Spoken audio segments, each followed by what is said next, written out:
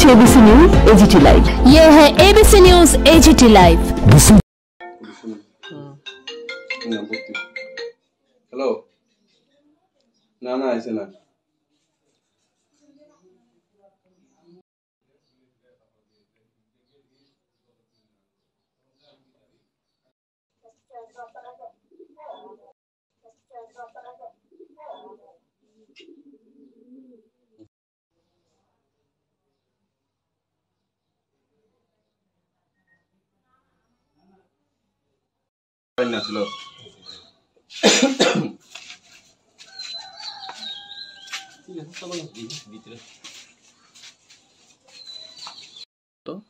আমি গতকালকে আমি আমার বড় বোনের বাসাতে গিয়েছিলাম।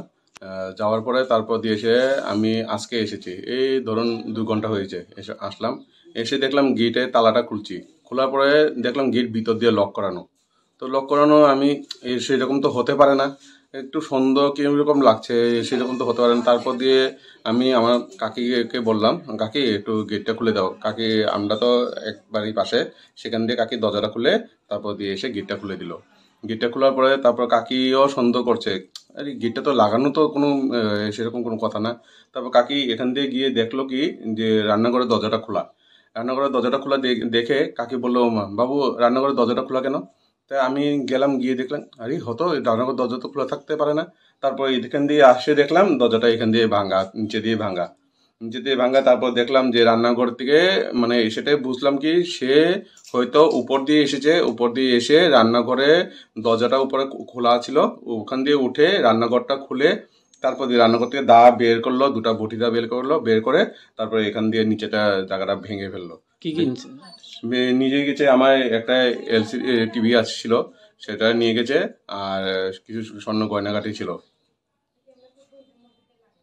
দুইটা আলমারি ভেঙে পুরা নিয়ে গেল। নামটা? নামটা দীপক দেববর্মা কি দূরে জায়গাটা? কৃষ্ণনগর প্রগতি রোড। পুলিশকে খবর দেওয়া হয়েছে? হ্যাঁ, পুলিশকে এখন খবর দিয়েছি এটা আউটপোস্টে দুর্গাচমনি আউটপোস্টে না না না। আমি গতকালকে রাত্রেবেলা আমি বড় বোনের বাসাতে গেছিলাম। গিয়েছিলাম রাতে কেউ আসলো না। না, না।